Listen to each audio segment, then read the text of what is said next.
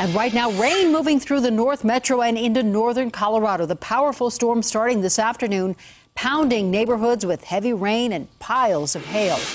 A new video tonight from Wheat Ridge as the worst of the storm hit. The rain and hail so loud, it's hard to hear anything else. And you can see the pea-sized hail quick to pile up, even causing flooding in parking lots and creeks. And 7 News with team coverage on this weather alert. Chief Meteorologist Mike Nelson tracking tonight's radar and the threat of storms tomorrow. And we start with 7 News reporter Marshall Zelinger live in Lakewood with the impact of this round of weather. And the evidence of that hailstorm earlier today still here. Check out this road in Lakewood, the neighborhood road. As you can see me falling into this, it's almost like a pile of snow. It's not, and it's so, so potent right now. It's getting into my shoes as I walk through this right now. Three foot pile of hail. It was the loudest. It, it, was incredible. It looks like winter. Holy hailstorm, Batman! Pea-sized hail pounding Wheat Ridge. I thought there was a tornado. Lightning was going crazy. I mean, it was, it was like a movie.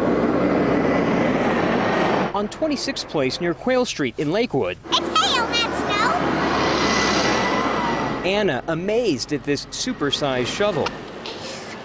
it's funny. Helping to clear about four feet of hail blocking the neighborhood. This is unbelievable.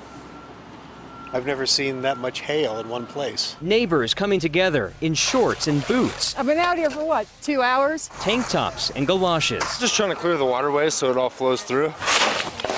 Mother Nature and this blocked drainage area to blame, though this boy not taking any chances, announcing, I didn't do it.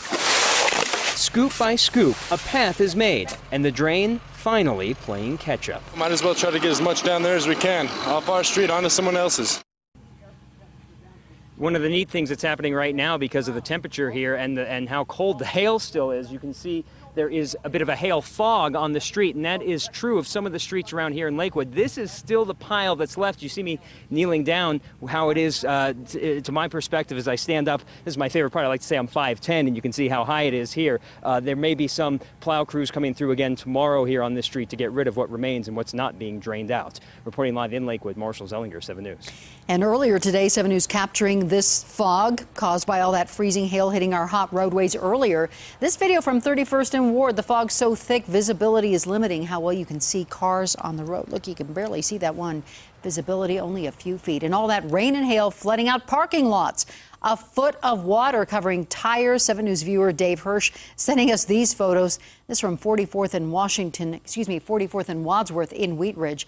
While others were forced to just have their vehicles towed away, the water rising too fast to drive out of the storm.